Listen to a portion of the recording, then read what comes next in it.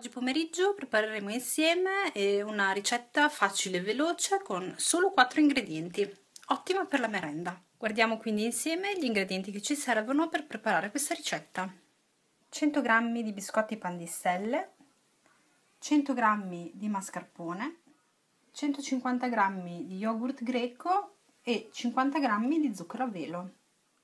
Per prima cosa andiamo a tritare i nostri biscotti nel mixer.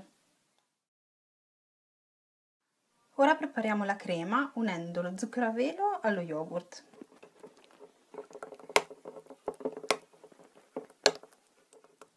Aggiungiamo il mascarpone e continuiamo a mescolare.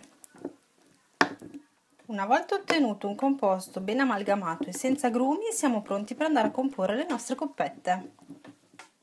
Prendiamo quindi un cucchiaio di biscotti tritati e lo andiamo a mettere sul fondo della nostra coppetta. Io non amo utilizzare la sacca poche, quindi andrò a mettere cucchiaiate di crema sopra ai biscotti.